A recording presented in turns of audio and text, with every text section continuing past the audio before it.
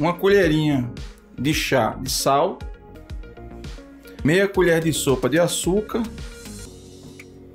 E agora tá na hora da gente despejar o molho, né?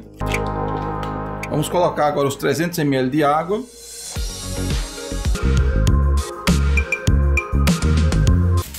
E a parte brilhante é para dentro, certo? E a parte fosca para fora. A gente vai programar ela com 200 graus por 35 minutos. E é isso aí, 35 minutos a 200 graus. Daqui a pouco a gente volta. Ah, maravilha, pessoal. Agora vamos montar os nossos sandubas.